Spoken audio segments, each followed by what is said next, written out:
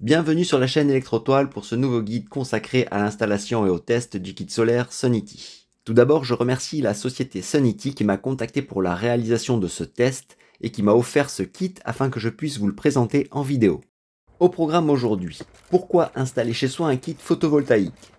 Puis je vous donnerai les caractéristiques techniques des composants du kit solaire Sunity. Et je vous détaillerai les différentes étapes du montage à faire soi-même. Puis, je vous montrerai les résultats de la production solaire sur 15 jours entre fin septembre et début octobre. Et enfin, je ferai un bilan de mon expérience avec ce kit solaire. Alors que vous soyez propriétaire cherchant à diminuer votre empreinte carbone ou locataire désirant réduire ses factures d'électricité, découvrez tout de suite la nouvelle version du kit solaire Sunity. L'objectif de ce kit solaire est de pouvoir accéder simplement au photovoltaïque en baissant votre facture d'électricité sans pour autant faire de gros investissements ou de travaux sur une toiture. En effet, cette solution s'adapte aux novices et non-bricoleurs qui souhaitent tout de même mettre un pied dans la production d'électricité solaire avec un investissement moindre puisque cette nouvelle version à 425 watts crête est vendue 720 euros. En contrepartie, il y aura un petit peu d'assemblage et après cela, il suffira de brancher le panneau à une prise secteur pour voir en quelques minutes la réduction de la consommation électrique s'afficher sur le compteur. Une seule station solaire permettra de produire entre 500 et 600 kWh par an, soit l'équivalent du fonctionnement à l'année de 10 lampes LED, un réfrigérateur, un téléviseur LED, la box internet, un ordinateur portable et une machine à laver. Mais pour obtenir de telles économies, il faudra revoir ses habitudes de consommation et d'utilisation de ces appareils électriques, comme par exemple faire fonctionner de préférence son lave-linge ou le lave-vaisselle lorsque le soleil sera présent afin d'utiliser au maximum l'énergie produite. Car sinon, cette énergie sera perdue et renvoyée gratuitement sur le réseau Enedis. En effet, les électrons iront au consommateur le plus proche, donc si ce n'est pas vous qui en profitez, ce seront vos voisins qui au passage seront facturés par leur propre fournisseur d'électricité. Comment se passe la livraison? Le transport du kit est réalisé par la société Geodis qui vous informe la veille par email et SMS du passage du livreur sur une plage matin ou après-midi. L'ensemble palette et kit solaire pèse 45 kg. Alors c'est encombrant et mieux vaut donc prévoir avec le livreur l'endroit où déposer le matériel. La palette arrive bien sanglée et plastifiée pour protéger correctement les trois cartons contenant le kit photovoltaïque. Le premier carton contient une feuille imprimée avec le QR code permettant d'accéder à la notice numérique de montage. On trouve également une smart plug pour le suivi de production et le câble à brancher entre le micro-onduleur et la prise secteur. Le second carton contient la structure en aluminium de couleur noire, réglable, permettant de poser la station au sol ou de la fixer contre un mur. Enfin, le dernier carton contient le panneau photovoltaïque avec le micro-onduleur déjà fixé et connecté sur la face arrière du panneau. Voyons maintenant les caractéristiques techniques de l'ensemble. Le panneau photovoltaïque est de marque Trina Solar. Il est équipé de 144 demi-cellules monocristallins PERC et de technologie type N-Topcon, permettant d'améliorer l'efficacité de la cellule solaire. Son panneau biface dispose d'une couche de verre de chaque côté de 1,6 mm d'épaisseur et permet de produire une puissance maximale de 425 watts crête. Le courant en sortie à puissance maximale est de 9,92 A pour une tension de 42,9 volts. Le panneau nu mesure 176,2 cm de large pour 113,4 cm de haut et 3 cm d'épaisseur pour un poids de 21,8 kg. Pour connaître les caractéristiques du micro-onduleur, il est nécessaire de le retirer du cadre aluminium. On a ainsi accès à son étiquette. C'est un micro-onduleur de marque O'Miles et de référence HM400. Il délivre en sortie une puissance apparente maximale de 400 voltampères et sa tension de démarrage est de 22 volts DC. Il supporte en entrée d'essai une tension comprise entre 16 et 60 volts pour une intensité maximale de 12,5 ampères. Il délivre en sortie une tension nominale comprise entre 220 et 240 volts alternatifs, AC, pour une intensité maximale de 2 ampères. Son indice de protection est IP67, donc parfaitement protégé contre les poussières et l'humidité ambiante en extérieur et possède une plage de température de fonctionnement comprise entre moins 40 et plus 65 degrés Celsius. Concernant la structure métallique, elle est en aluminium et de couleur noire. Et une fois montée sur le panneau, elle permettra de régler l'inclinaison d'un angle compris entre 20 et 35 degrés pour une pose au sol. D'ailleurs, voyons maintenant les étapes de l'assemblage du kit solaire Sunety. Pour cela, vous aurez besoin d'une paire de gants car si le soleil tape trop fort, ils vous éviteront de vous cramer les doigts en manipulant le panneau ou les supports métalliques. Pour l'assemblage, prévoyez un cliquet avec une douille de 13 ou une clé de 13, ainsi qu'une clé à laine de 6 mm ou un embout de 6 pans de 6 mm pour votre cliquet, et enfin un mètre à ruban et éventuellement deux petits tournevis plats si vous voulez débrancher les connecteurs MC4 du micro-onduleur. Pour l'assemblage, il est conseillé d'être à deux et d'utiliser la seconde face du carton contenant le panneau afin de réaliser le montage de la structure métallique. Je commence par disposer les deux barres transversales sur le fond du carton. Je dépose un support réglable comme ceci en alignant les trous avec les deux barres précédentes. Puis je retire les vis placées aux extrémités de ces deux barres. Je place les deux supports réglables en les alignant en face des trous de fixation des deux barres précédentes. Lorsque l'alignement est bon, je revisse aux quatre endroits les vis retirées précédemment. Puis je desserre les étriers qui viendront en bas du panneau et je les écarte un peu. Maintenant, il faut récupérer le panneau et venir l'aligner avec les équerres que réalisent les montants. Pour se repérer, il faut positionner les deux étriers du bas sur la cinquième colonne de cellules solaires pour chaque côté du panneau. Il se peut qu'en manipulant le panneau, l'étrier sorte du rail. Pas de souci, il suffit simplement de le reglisser, puis de remettre le cache plastique. Je positionne les deux étriers afin qu'ils mordent le cadre du panneau. Mais avant de resserrer les étriers du bas, je vérifie que la distance soit la même de chaque côté. Personnellement, j'ai pris environ 55 mm de chaque côté pour la partie inférieure. Lorsque le positionnement du panneau est équilibré, je serre fermement les quatre étriers. Alors attention à bien serrer car sinon le panneau risque de glisser horizontalement si vous le manipulez via la structure métallique. Ensuite je remonte la partie haute du panneau et c'est là que tout seul ce n'est pas très pratique car il faut à la fois maintenir le panneau incliné, moi je l'ai fait avec la tête, et emboîter les deux tubes d'inclinaison de chaque côté. Après je règle l'inclinaison du panneau en m'aidant de la graduation gravée sur le bras. Là j'ai réglé sur 30 degrés. On est en fin septembre et dans quelques semaines, je mettrai 35 degrés pour l'hiver. Puis je serre les vis pour les deux bras. Lorsque ce réglage est terminé, je serre fermement l'ensemble des 8 vis du kit. À l'arrière du panneau, je retire les différents colliers qui tiennent les câbles. Je branche la rallonge de 5 mètres sur le connecteur battery mâle qui est en sortie du micro-onduleur. Le branchement doit faire un clic. Sur l'autre connecteur battery femelle, j'y place ce bouchon d'étanchéité. Voilà, l'assemblage est terminé et le panneau est prêt à être branché. Mais avant cela, il faut déclarer le kit solaire d'autoconsommation avec une convention CAXI auprès d'Enedis. Et pour vous accompagner dans cette démarche, vous trouverez le tuto de déclaration à Enedis au format PDF sur le site de Sunity.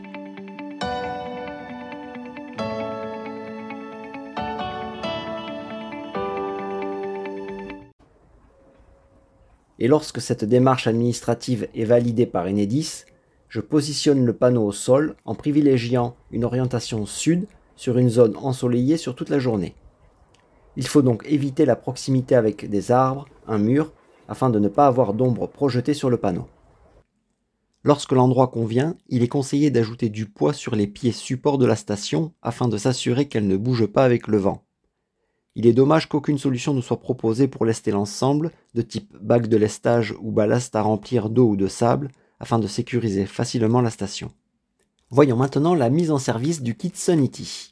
La Smart Plug fournie dans le kit communique en Wi-Fi et fait également office de compteur d'énergie.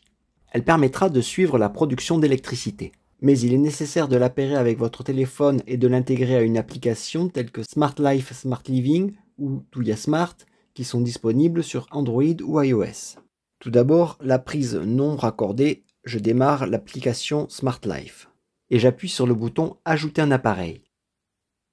Dans la section électrique, j'appuie sur le bouton Prise Wi-Fi.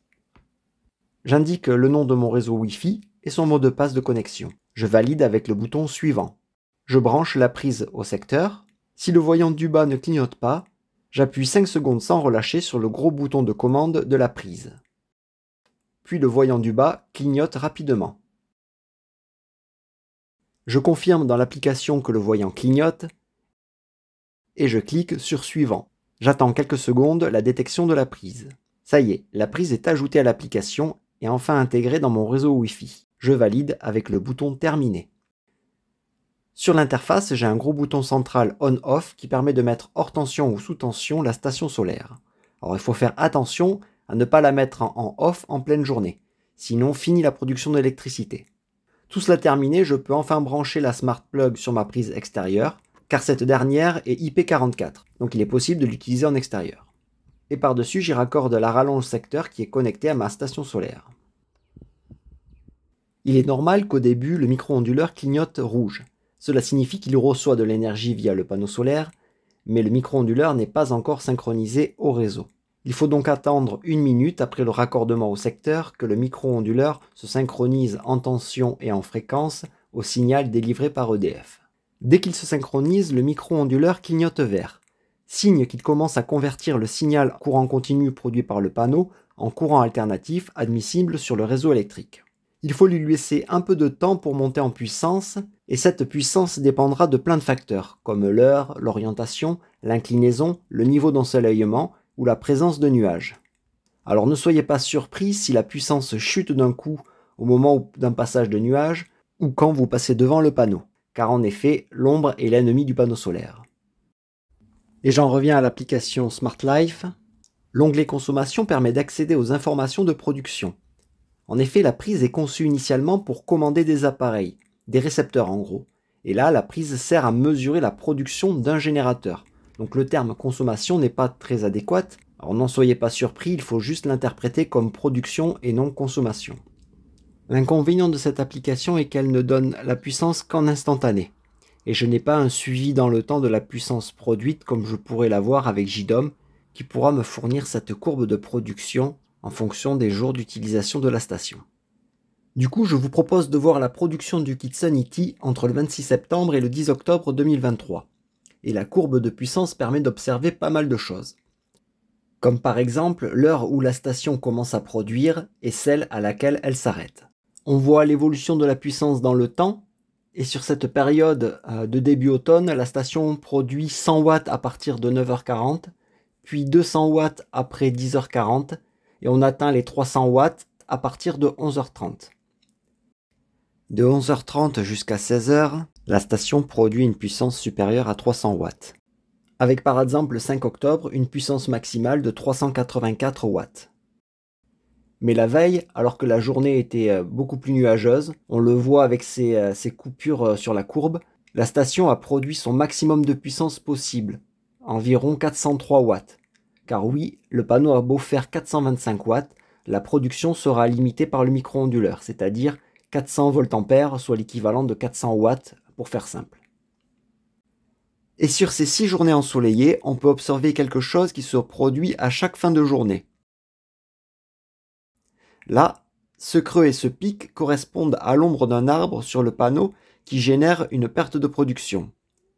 Conclusion, la position et l'orientation du panneau n'est pas optimale pour les fins de journée, car l'équivalent de la zone coloriée est perdu car non produite par le panneau.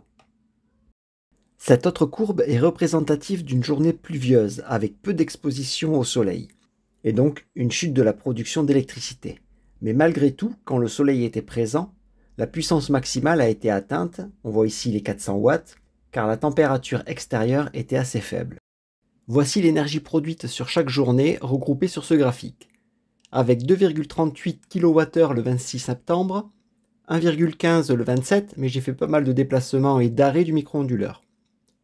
2,31 kWh le 28, 2,29 le 29, 2,27 le 30, et pour le mois d'octobre, 2,34 kWh le 1er, 2,30 le 2, une chute à 0,75 kWh le 3 octobre, où il a plu toute la journée. Il fait de nouveau beau le 4 euh, avec 2,10 kWh, 2,11 pour le 5, 2,18 le 6 octobre, 2,17 kWh le 7, 2,04 kWh le 8, 1,95 le 10, et enfin le 10 octobre 1,90 kWh. Au global, les chiffres sont dans l'ensemble très bons. Il est vrai qu'il n'a plus qu'une journée pendant le suivi.